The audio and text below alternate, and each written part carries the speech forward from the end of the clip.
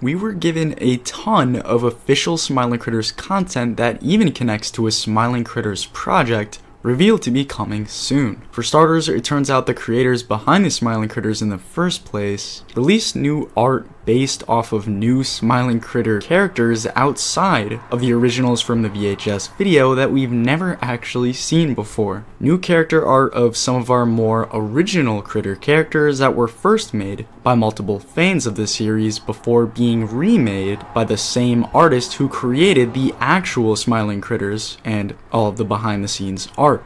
The creator of the Smiling Critters just drew a doodle of my character, to which we're finally able to see the art itself, which actually shows off four total new character concepts that the official artist decided to show us to be important in some way. Basically what we should be paying closer attention to. And the new post itself read, I've been seeing some fun Smiling Critters AU stuff around lately and I wanted to draw some of them linking the creators of the actual AUs below, showing us, for starters, a new, more grown up version of Dog Day made by the creator wearing clothes, showing a sort of change from how he was last left off from the original VHS video for Chapter 3, as well as some sort of toxic waste version of Kickin' Chicken, included with special tubes and all, that was said to be part of a separate group called the Smiling Psychopaths, rather than the smiling critters, meaning these new versions were probably intended to be evil in some way. And we were also given the most interesting characters of all drawn by the official artist that specifically showed us a happier version of Dog Day's character, along with a new critter meant to be his opposite in some way. These new critters remade by the original Smiling Critters creator were also part of a new group that was known as the Frowning Critters. Basically, a new sad Dog Day to go along with with the happier one. But it turns out the Smiling Critters also revealed a special behind the scenes look into the specific Smiling Critters that we never actually got to see in their recently released game. New secret designs that went into the process of making the game with the critters in the first place. The plush versions from Chapter 3 were the models shown to have new versions that have never before been seen by the public that were all grouped together by some of the original developers who made Poppy Playtime Chapter 3 in the first place. Along with the behind the scenes look we're given at the Smiling Critters themselves, the creator made an official statement telling us, I was the one who modeled and textured all of the Smiling Critters modular pieces. Final texture adjustments like Dog Day's eye and belly marks were made by James Pelter, which all went with the dozens and dozens of designs that went into the game's code shown in this official image that hasn't been completely shown in the game itself. To explain all of these new models that we're actually looking at here, it turns out the developers had the idea to combine certain features and elements of each of the smiling critters to give us new combinations and versions of the characters that included a purple Bubba Bubbaphant, a blue Dog Day, a pink Catnap, basically a whole inside look onto all of the textures of the critters. He ended up being combined in this strange way behind the scenes in order to make it easier to code all of the critters into the actual game. But the result ended up showing us something new that we've never seen before. But as for the most important Smiling Critters art of all, it turns out we were also clued into the potential for an entirely new Smiling Critters project meant to be released in the future. But which kind of project would we be expecting?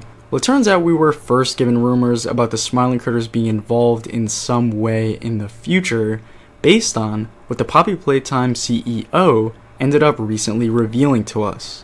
He put out an important statement in the official Poppy Playtime Discord that told us, for starters, to be expecting new content for Chapter 3, but also to be looking out for new graphic novels and regular novels that are on the way as well.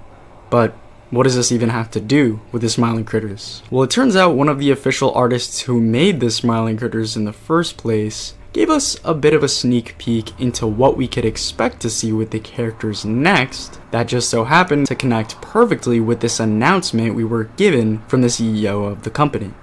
Basically, a fan of the critters asked him about some of the art involved in the behind the scenes for the VHS video we were given way back in November, and the artist responded by telling us, oh, there is a lot more of these, referring to all of the official Smiling Critters art. Mob Entertainment held on to loads more for some later use. I'm not sure what for so far.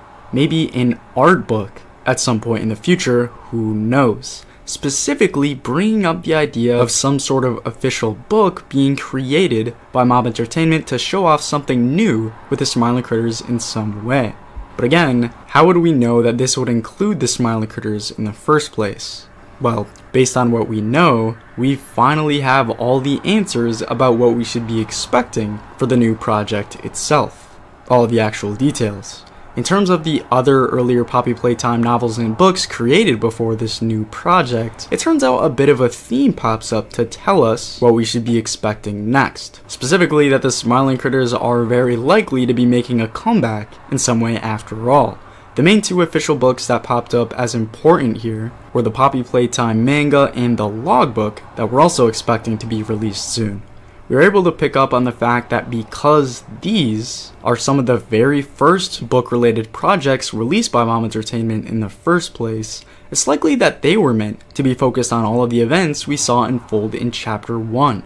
Meaning, down the line is when we'd finally see the involvement of content from Chapter 3 that would obviously include the Smiling Critters. We know the company behind the Smiling Critters have released multiple later copies and versions of artwork for the first show, but also that some of this artwork was saved for some strange unknown reason. So as for what we'd actually be expecting to see in this new book, the most popular idea circulating around the internet happens to be a completely separate story featuring all of the critters that shows us new adventures and problems that they'd all be experiencing in their village-like area we were shown by Mob Entertainment in the first place. And again, based on what we were told from the artist, it makes the most sense that all of this unused artwork would end up being reused in the future to all come together into this sort of book. But it turns out a new show is also something we were just given news about that actually includes early leaks into what this next episode would also be meant to look like. Basically, where the critters would be and what they'd even be doing in this next episode.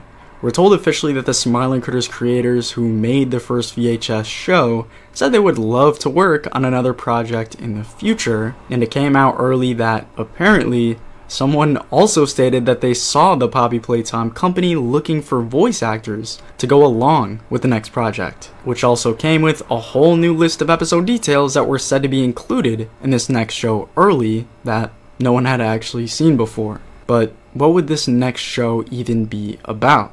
Well, based on everything that was actually released behind the scenes, I'm actually able to put this full story together for you early in this video right here. So for everything we know about this potential episode, make sure to check it out.